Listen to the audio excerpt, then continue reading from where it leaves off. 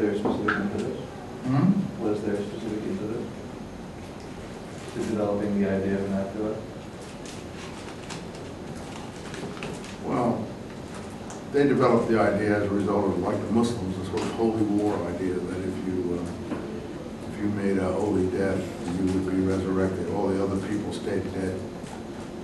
In other words, it was kind of a reward for, um, for having made a, what they call a pious end. It's in the Maccabee books, it's in the book of Daniel. Read that if you have uh, time. Anyway, so you, this other idea is what we're talking about is developed much earlier, 600, 700, maybe earlier BC. It's in the Deuteronomy book, you know, you know, the blessing and the curse, and uh, uh, the sins of the fathers are visited on the sons of the second, third, or fourth generations. Here's the famous line that we all know about, a voice cries in the wilderness, or a voice cries, prepare in the wilderness a way for the Lord, or for Yahweh. Make a straight highway for our God across the desert, let every valley be filled in, so. Okay, yank it out of context, and you've got the John the Baptist presentation in the New Testament. For the New Testament, or the Gospels, at least the Synoptic Gospels, John is preparing the way for Jesus. That's the synoptic historical or historiography if you want. I say synoptic. Matthew, Mark, and Luke are considered the synoptic gospels because they are considered to be based on parallel sources.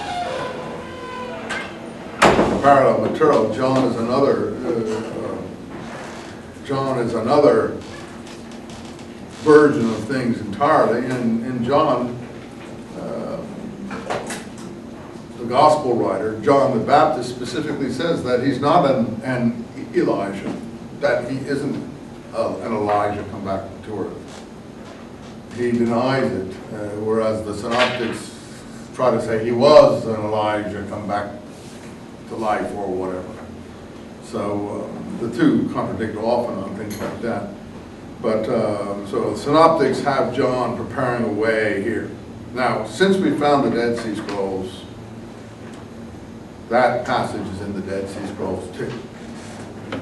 And it's repeated twice in one of the most important documents in the Dead Sea Scrolls, and it's used in exactly the same way early Christianity uses, except it's applied to the community. That the community is preparing a way for God in the wilderness by being perfectly righteous and studying Torah. That's what the scroll says. And uh, this is the time of the preparation of the way. The, um, the community rule says, and it repeats it twice. And the preparation of the way is the study of Torah. That, that's what they said. So it's just like 180 degrees the opposite of early Christianity. 180 degrees the opposite because for uh, Christianity, the preparation of way is the abolition of Torah. At least that's the Pauline presentation of what preparation of the way entails, although Paul doesn't use the, uh, the passage. So this is the most famous passage, uh, probably in all of Scripture, at least in, in Isaiah right there. But let's look at it in its context. Let every valley be filled in. I say you, you can pull it and, and, and allegorize it, but then if you look at it in context, it's entirely different uh, uh, kettle of fish or state of affairs. In other words, not just a man saying, here I am, there's going to be someone coming after me. Oh no. Let every valley be filled in, every mountain be made low, every cliff become a plain. In other words, let's, let's make the wilderness easier on people. Even the scroll interpretation of my mind is closer to Isaiah because the scrolls are saying, let's go out in the wilderness away from a corrupt society. And let's, by pure righteousness and the practice of pure righteousness in the camp world in the wilderness, uh, uh, bring the holy angels and the final apocalyptic war against all evil on the earth into being. That, that's what the community rule is saying. So we have, uh, we're very fortunate in the 20th century to have found these documents because we now have a totally different view of these things uh, to look at and you can take your choice what you think is uh, appropriate or not.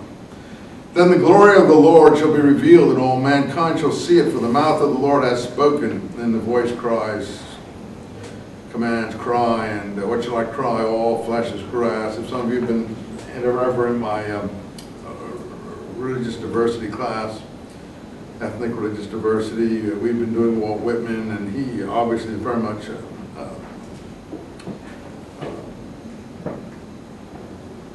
moved by these passages and his whole work he calls Leaves of Grass, probably right after this passages here.